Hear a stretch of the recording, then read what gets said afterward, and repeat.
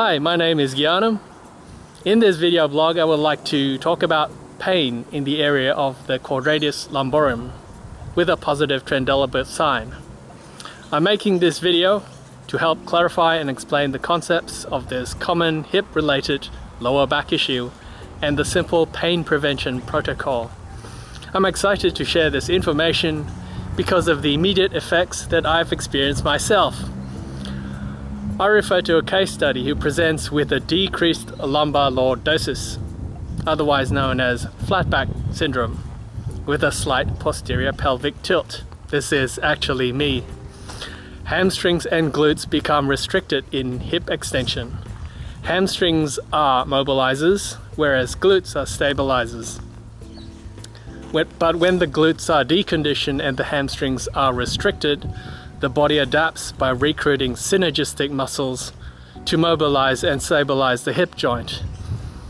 In this case study, due to neuroplasticity and myofascial adaptation, hamstring dominance impedes glute activation. A preference towards loading one side of the hip while externally rotating the other side suggests hip abductor insufficiency on the side of the hip that is externally rotated. Hip abductor insufficiency presents itself during gait as a hip hike, which is called Trendelenburg gait.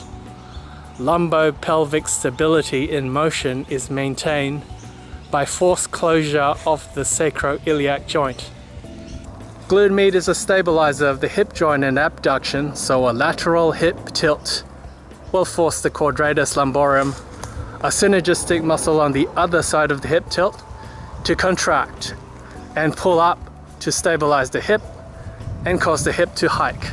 This is characteristic of a hip abductor dysfunction.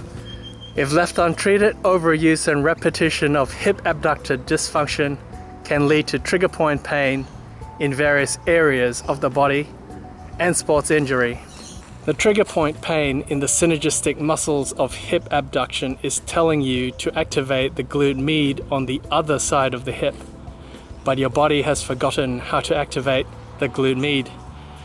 To assist in glute med activation, you need to apply neuromuscular facilitation using the clamshell exercise technique.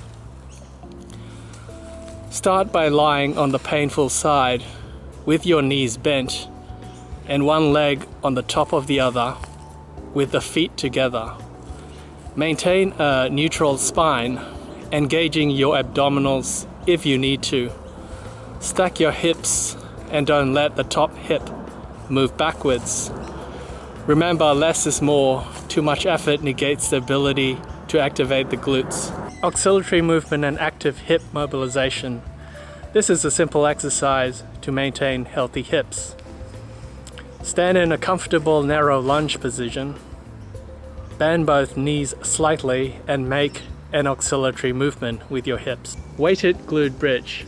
A simple and effective exercise at the later stages is the glute bridge.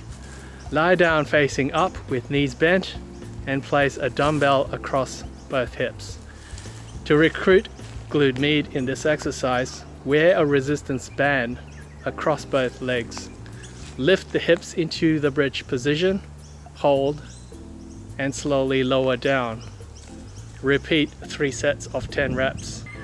So there you have it. My name is Gyanam. I'm a myotherapist in Sydney.